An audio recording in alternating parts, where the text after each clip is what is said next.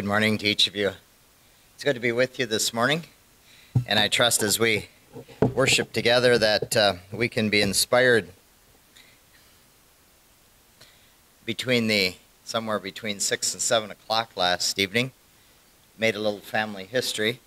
We entered the state of Massachusetts for the first time in our lives, and it's been very good to. Uh, there's a lot of surprises here for us. I always pictured the New England states as pretty well wall-to-wall houses and and all genteel uh, estates and stuff like that. And here it looks a lot like Wisconsin, only more so. It's uh, just a lot of trees and stuff like that. And so uh, we've really been in, we really enjoyed our trip out across New York State. It's a long trip, but uh, we're glad to be here with you this morning. We've had some kind of introductory thoughts about the thing of suffering and reconciling that to uh, the goodness of God and, and agree with that. But we're going to uh, be a little different this morning. We're going to talk about glory. And, uh, you know, what is the place in our lives for, for glory? And I uh, entitled it, well, I have two parts to my title. I'll just give the first part now, and that is the glory of Zion. And so uh, I would like to begin by reflecting on Zion and then later in the message, maybe zero in on a more specific area of its glory. Now, Zion is first referred to in the Old Testament when it talks about David and his conquest of the Jebusites on this certain piece of real estate uh, in what we know as Israel today in Palestine. And uh, he went there and took a stronghold. And this stronghold was around a, uh, a spring of water and an archaeological dig began about 1995 and it uncovered a massive fortification of five ton stones 10,000 pound stones stacked 21 feet high. And some pottery shards they found dated them to about 3,800 years ago. Now um, five ton stones 21 feet high that's kind of a I think some of the equipment next door could about do that for us, you know, maybe not quite, but bigger ones easily can. Cranes and stuff we have today, we can go much higher than that. Uh, we were in Chicago last weekend, and you look at those massive buildings, and you wonder, so close together, you wonder how the earth underneath them can support them all. But that was quite an accomplishment in that day. And uh, they're the largest walls that are found in that region, clear from the time of King Herod and uh, again, it the water springs were very important in those days. If you got someone's water, you pretty well had them because they couldn't go very long without that. So they wanted to protect their water source. Uh, this would have probably been built about 800 years before King David came on the scene. And the biblical account calls it the citadel of David or the citadel of Zion. Now, the word Zion occurs over 150 times in the Bible, and it essentially means a fortification or the idea of being raised up as a monument. And so, this Zion is described both as the city of David, this one that he took there, and then also it's considered as the city of God, and as time expanded, excuse me, as time went on, it expanded and kept getting more and more additional meanings and connotations with it. Now, uh, uh, it was originally this, like I said, this Jebusite fortress in the city of Jerusalem, but then Jerusalem became a possession of Israel. And so we have this citadel there on the hill, get that a little bit. But then David built himself a palace beside it there and that also became included in the area that was called Zion. And then Solomon later was he came on the scene when Israel reached about its zenith of glory. Then they also included this temple, this magnificent temple, as part of Zion. And then uh, we found uh, we find as we keep going through the Bible that uh, they would go up to Zion. And Jeremiah talks about that. He, he says there in Jeremiah 31 6, Come, let us go up to Zion, the city of our God. Then later, it came to be a name for the whole city of Jerusalem. And then it expanded until it became a name for the whole country of Judah. And then, after a while, as the nation of Israel as a whole is considered in Zion. And I have scriptures for them, but I won't, uh, I won't read those. And so, Zion is used uh, in a spiritual sense in Scripture to refer even to the people of God. So it isn't just a geographical area. After a while, it's the people of God that are considered Zion. And then as we get into the New Testament, Zion refers to God's spiritual kingdom, in other words, the church. And uh, the apostle says, We have not come into Mount Zion, but unto Mount Zion and unto the city of the living God, the heavenly Jerusalem. And we find Peter saying, that Christ is the cornerstone of Zion. Behold, I lay in Zion a chief cornerstone, elect precious, and he that believeth in him shall not be confounded. So I say that to say, though, it started with this little citadel, and then it expanded and included David's palace, and then it it, stand, it expanded and and it also included the area of the temple, and then after a while it included the whole city of Jerusalem, and then after a while it included the whole uh, land of Judah, and after a while it included Israel too, and so we have of the whole nation. Then after it went on from there and expanded and be and became known as the people of Israel, the Israelites, and then after a while in the New Testament expanded until it's called the church, the people of God. Now, when it was uh, back again to Jerusalem, when it was originally captured by David, and it appears that what to do this, there was a small waterway that he went through, and they they challenged him and even mocked him and said, "You can't get this." And he said, "Whoever will go in through that waterway and and uh, capture that city," and I forget what the reward was there, but some of his men went in there, and they took over the citadel and at that point, they had control of the highest landmark uh, in the area there, in that ancient city. And about anywhere in that city, you could look up, if you turned and, and looked up there, you could look from about anywhere in the city, you could look up and see this ancient landmark. Now, if you've seen pictures of, excuse me, of Jerusalem, uh, it's kind of heart shaped. It's a little wider at the top, and then it tapers down to the bottom, and and it talks a little Nehemiah about how he made a loop around here to uh, assess the damages after the fall of Jerusalem and when they were rebuilding the wall. But there, wherever you looked, as you looked up, you would see this this citadel here. And that protected the city. It protected their water supply, which was so valuable. And I'm sure as people walked around in that city and they would look up and they would see this citadel that's protecting their water.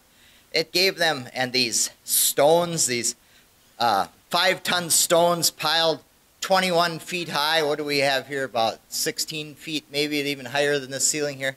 They saw these huge stones there. It gave them a sense of awe and it gave them a sense of security.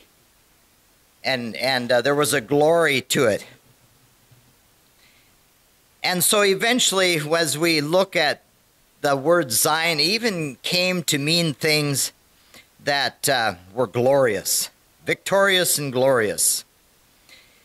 And the temple that we hear mentioned in the Gospels is, uh, is a magnificent building with a lot of glory. In Luke 21, uh, verses 5 and 6,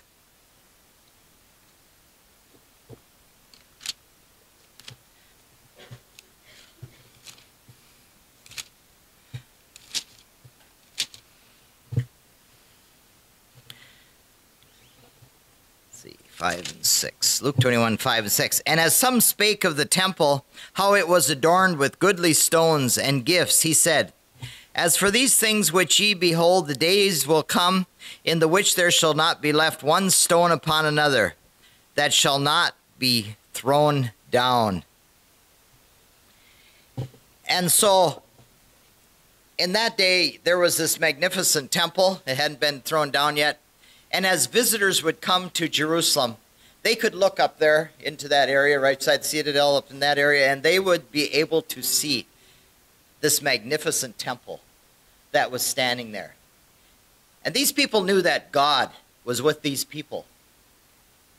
And I imagine as they looked there and as they got wind of some of the things that God had done throughout history for his people, and then they looked up there and saw this magnificent building, and they saw this palace, and they saw this citadel that, prote- that protected the city's water source. Um, I'm sure that there was a lot of awe and wonder, and possibly even envy, at the security of these people, besides the glory, the security of them.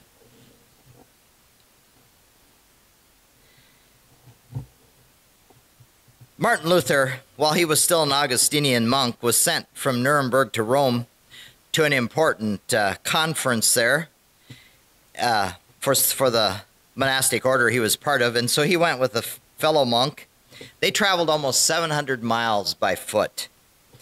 And they went through southern Germany and then into Switzerland, and then they went through the snow covered Alps in the wintertime, down out of the Alps, and uh, they moved down to the in the Italian boot and they came to a little rise and for the first time in his life Martin Luther had a dream fulfilled he saw the city of Rome and in those days people wrongly called it the eternal city and Luther would refer to it the holy city and he fell down prostrate on the ground he was just overwhelmed with religious zeal and he cried out, O holy city, O Rome, the city sanctified by the blood of martyrs, I come to you at last.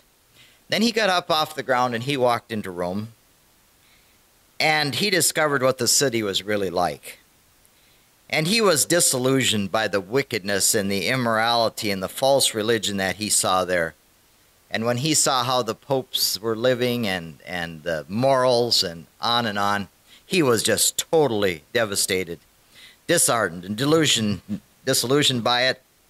And he went back to his order and he was silent for a long time. Because of his disappointment, and the, here he had made this pilgrimage, and that was a lot of the focus of it. He wanted to see Rome, and he was so disappointed and delusion, disillusioned by it. You know, I suppose a lot of people could have said that. If you read through the prophets in the Old Testament, a lot of people could say the same thing about Jerusalem. This city, this magnificent glory, like I said, it reached its zenith about at the time of Solomon, and then it kept decaying and it just kept falling away there. And yet it was the place, the city chosen by God to place his name.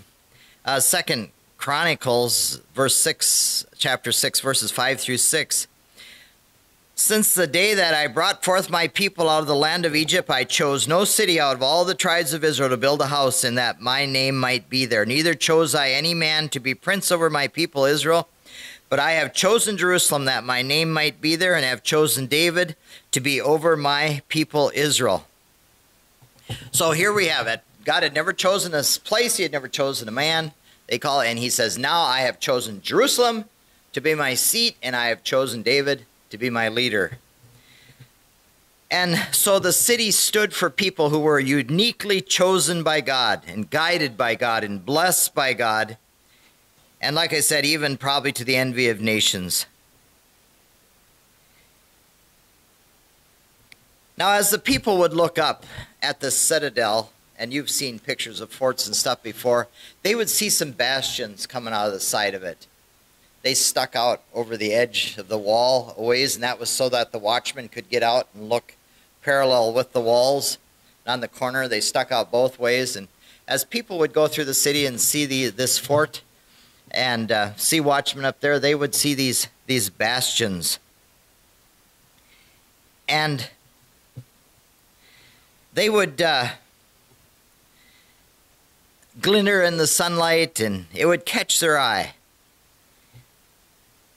And I imagine as people look at the Zion of today, there are different bastions on it that are strong points that help with the strength of this city, of this fort, whatever you want to call it here. And, uh, and so each one of these was added strength to it. Not necessarily for tipping or anything like that, but for for being alert and watchful and and for protecting it. And uh, I think as we think of it, Zion today as a spiritual city of God, I think there are a number of bastions that are s- sticking out, so to speak, a number of bastions that are that give strength and security and watchfulness to the people of God. You know, there are things that the world looks at.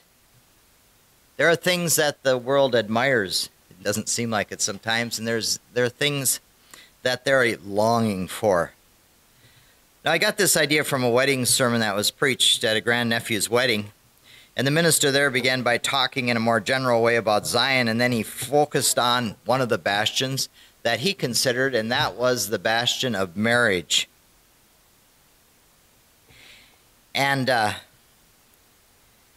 and he talked about, and he kept zeroing in until he talked about selfishness, and uh, he talked about how selfishness can take um, a thing of glory like a godly marriage and at best mar it, and at worst destroy it. And it occurred to me, you know, that there are a number of these bastions that we could focus on, and that I could even have a series of messages on some of these uh, bastions. And we could focus, first of all, on the glory of Zion, and then focus on different bastions of the kingdom of God. And so I went to work and I studied what I've related to you here. And then uh, uh, the first one I used was uh, we focus on the bastion of the glory of the Church of Christ.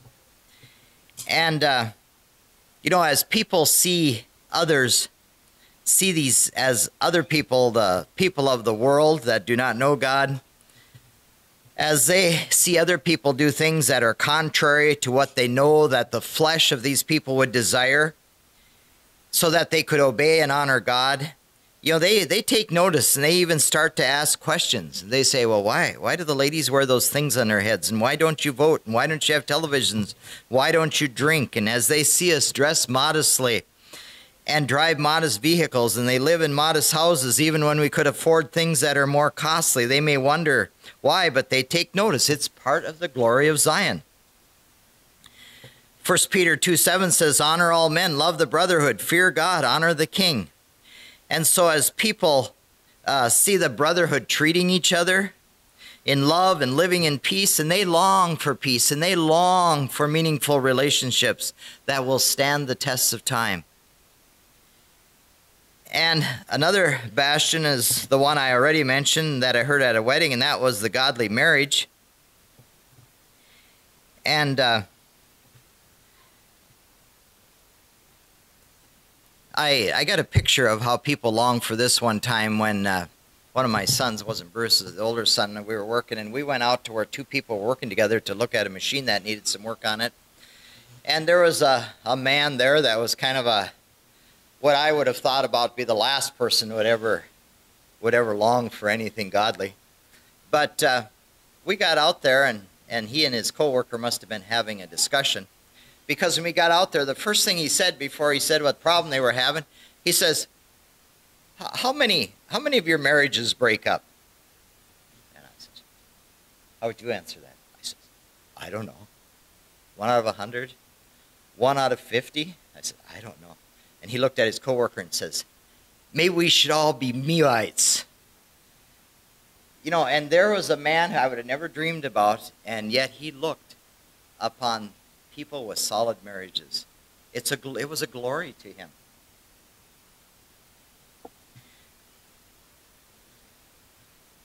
Another bastion would be forgiveness. Some years ago, you've heard about uh, Jeff Schrock's children being killed in that accident in Oregon and uh, or Washington, I guess, and uh, the trials that ensued. And, and Jeff was up that week. They were having the the trial for the, the person that had uh, come across the median and run into their vehicle. And uh, of course, it was everyone was just so so awed by uh, by Jeff and Carolyn's response to that and their forgiveness, and it, it was a glory. It was a glory to the people of God. even though they weren't seeking glory, even though they had suffered. And uh, and so that trial was going on that week. And then at the end of the week, uh, the meetings that we were out for is Bible conference, and uh, that's in quite a few people there, and visitors were coming in. But one of the visitors came in. He was by himself, and he said, "I'm looking for the church that Jeff goes to." And uh, yeah, well, this is the church that Jeff goes to. And basically, he was there because of the testimony of Jeff. He said, I want to see his people the glory of Zion. We have the Nickel Mines shooting in Pennsylvania and how people are so awed by the forgiveness there. So that would be another one of the bastions, not the one I'm going to major on. Non resistance and turning the other cheek would be another one, and there are more. But I want to focus this morning on the, on the Christian home and the Christian family. Now, I start with a little disclaimer here. When at the time I was ordained, 30 some years ago, I said, I'm not going to preach on the Christian family until my family is raised and maybe not ever. But I realized if everybody took that position, we wouldn't get much teaching, would we, on the Christian family? And I'm not here to tell you, it's not a how to manual this morning. I want to do it more by way of encouragement in the glory of the Christian family, the, the glory to God and the glory to the world as they look upon the Christian family. There are a few things that the Apostle Paul uses as pictures of the church, and one of them is a human body, another one is a building, and still another one is the Christian marriage.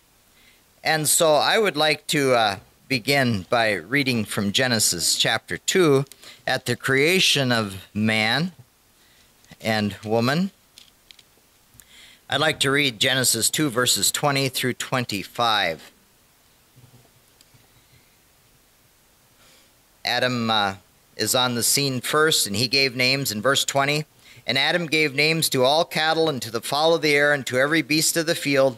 But for Adam there was not found an helpmeet for him. And the Lord God caused a deep sleep to fall on Adam, and he slept, and he took one of his ribs, and he closed up the flesh instead thereof.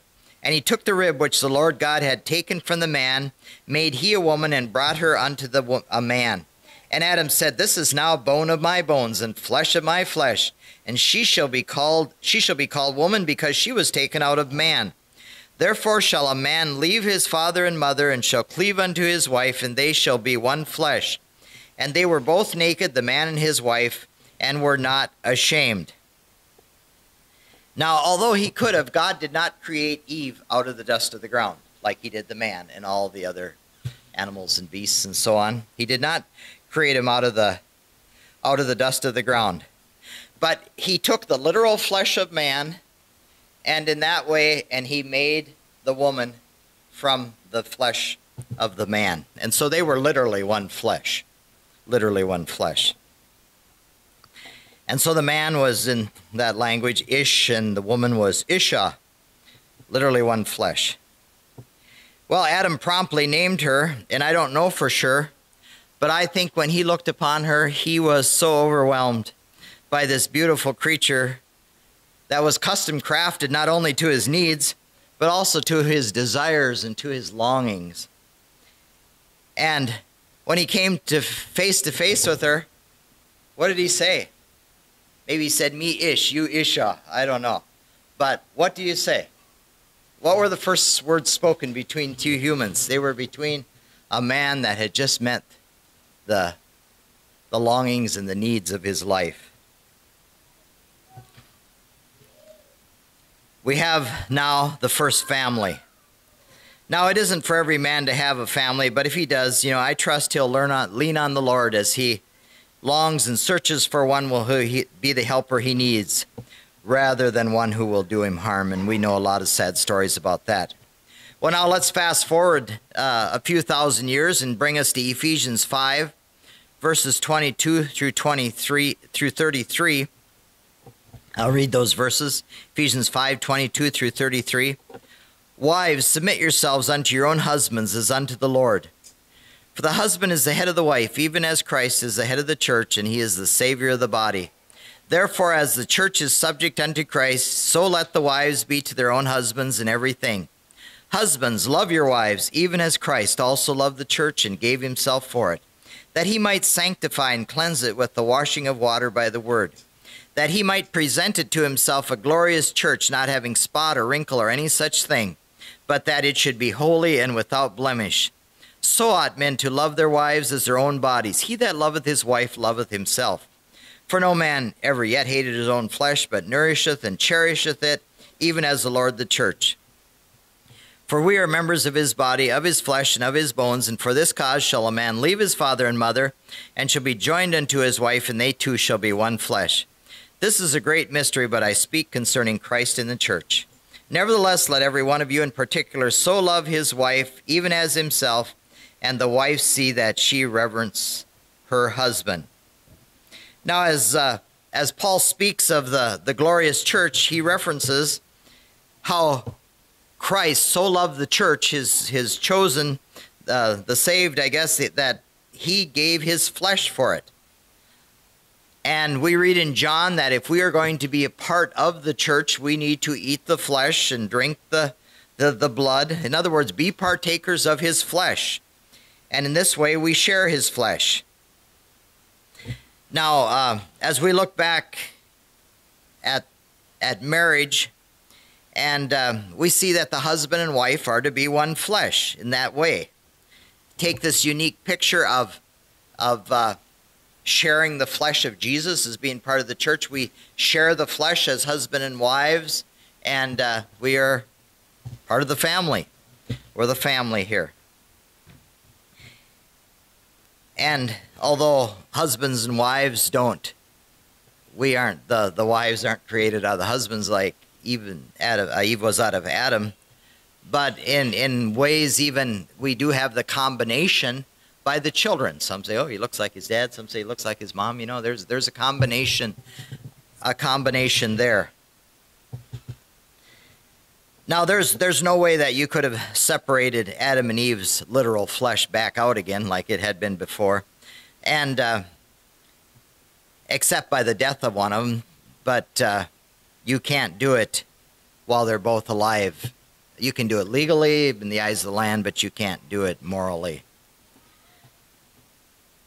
And so, as the world looks upon the godly home and they see a man and a woman who are committed for life, they see something beautiful and they see something desirable. I worked with a man, an unmarried man, one time. He was up in his 30s, and uh, his name was Rick, but we all called him Snuggles. And the reason for that was we had another Rick at work, and he had a thing, uh, bug guard on the front of his pickup that said Snuggle Bear on it. And one of the guys started calling him Snuggles, and we all called him Snuggles, and he didn't take any issue with it at all. In fact, I think he kind of liked it. And so we always called him Snuggles, but his name was Rick. And uh, Rick uh, went into a Casey's and and uh, he um, made friends with a clerk in there who had a daughter, and uh, they ended up moving in. He moved in with her, and uh, he would babysit her daughter while she would work sometimes. And one day, Snuggles told me at work he says, uh, Well, I find out tonight if I'm a papa, a father. And I said, Snuggles, I said, Have you ever been married? And he says, No, I haven't. And, and I said, Was she ever married? And he says, No, she wasn't. I said, Well, you should marry her. Oh, he said, I'd like to, but you just can't really trust anybody. And it, it just won't work. I thought I'd hear from him the next day, and I never did. Well, one of my other coworkers said that Snuggles was down.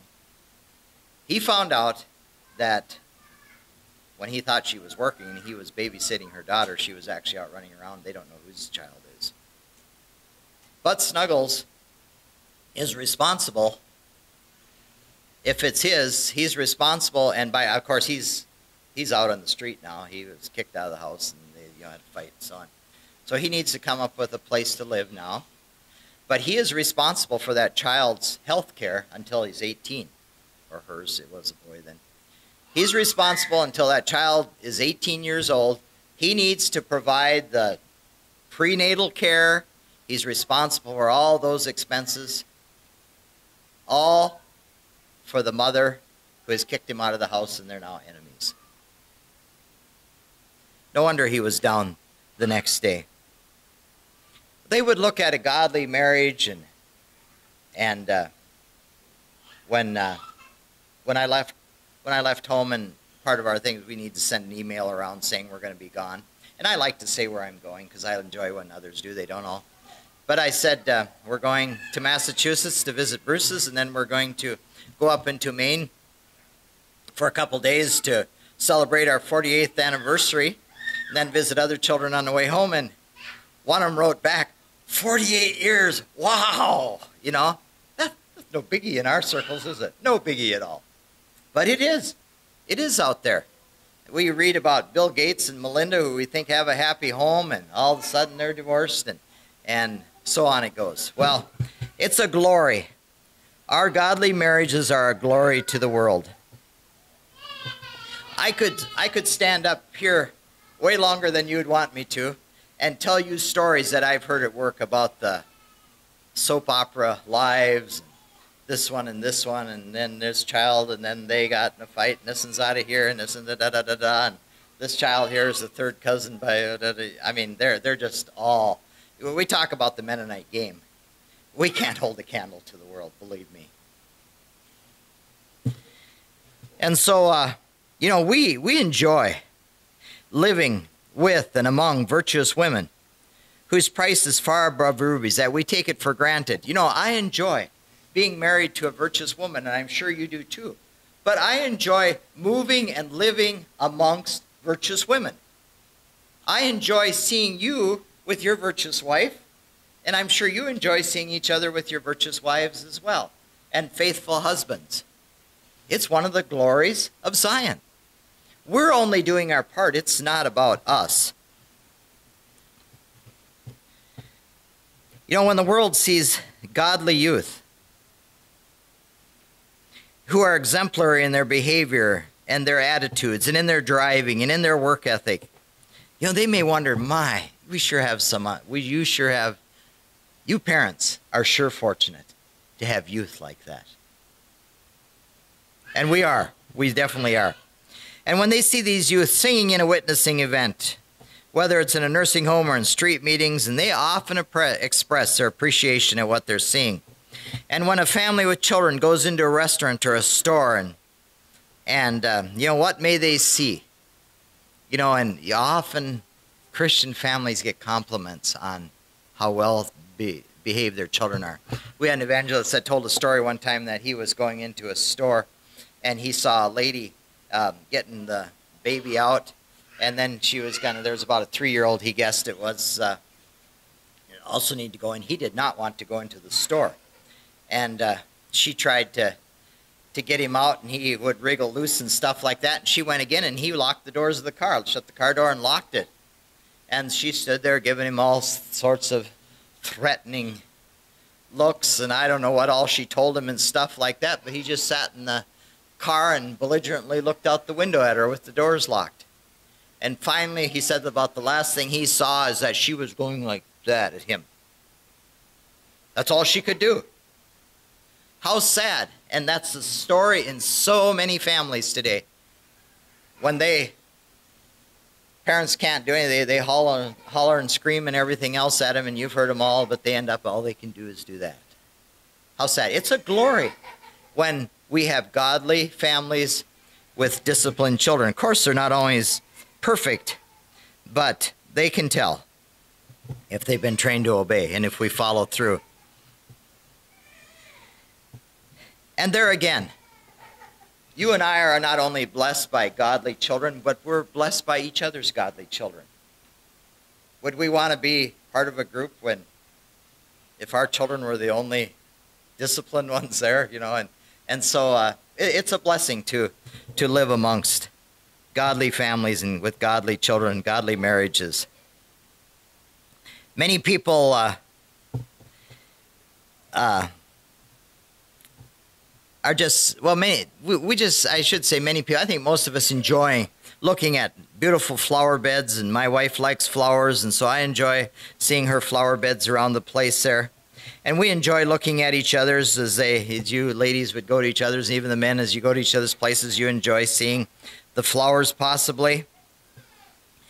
But you know, you enjoy going and looking at other people's flower beds, but you also enjoy your own flower beds.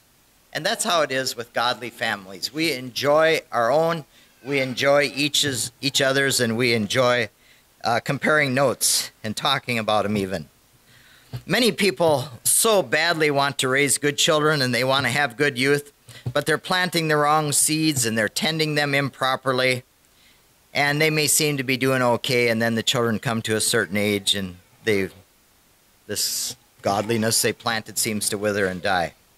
Psalm 127, 1 through 5. Except the Lord build the house, they labor in vain that build it. Except the Lord keep the city, the watchman waketh but in vain. It is vain for you to rise up early and to sit up late, to eat the bread of sorrows, for so he giveth his beloved sleep. Lo, children are an heritage of the Lord, and the fruit of the womb is his reward. As arrows are in the hand of a mighty man, so are children of the youth. Happy is the man that hath his quiver full of them. They shall not be ashamed, they shall speak with the enemies in the gate. Uh, one, I heard a man say one time that he was at a wedding and, and he said that uh, the, and this minister at that wedding was telling how the young, he heard of a young couple that had uh, written up a list of their goals and aims in life, and they were good. But he wanted, they said, now we would like God to sign his name at the bottom to give his approval.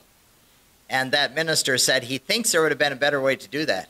He said they should have given God a blank sheet of paper and had him write out the goals. And then they would sign them.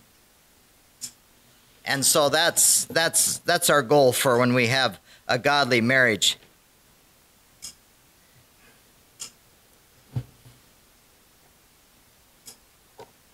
Just let God build the house, and you'll live in a much more durable, enjoyable, and beautiful house than you could have ever built yourself. You're going to have more rest and less sorrows.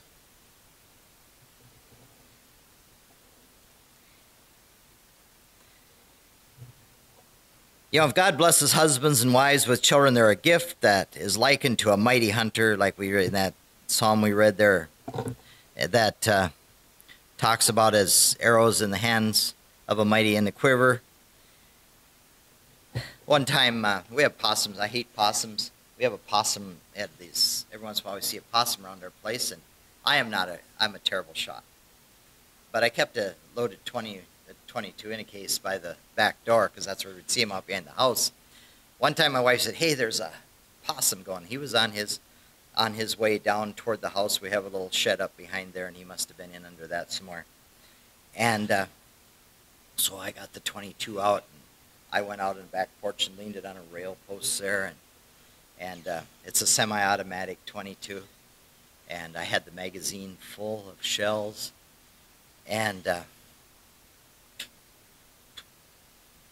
and the possum turned around and headed back where he'd come from. I think I'd hit him once so but but he was he was walking back.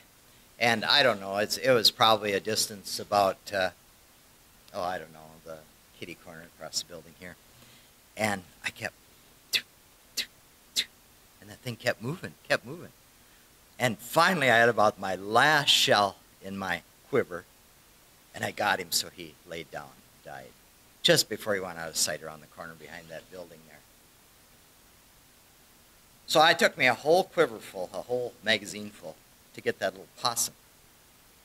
Well, if I go out hunting with a whole quiver full of arrows, and I and it takes a whole thing to shoot one little possum, um, of course, we don't eat possums, but you get the picture. I don't have much to put in the freezer if that's all I get is this little animal. Now, my brother-in-law, he is a good shot, and he's a deer hunter.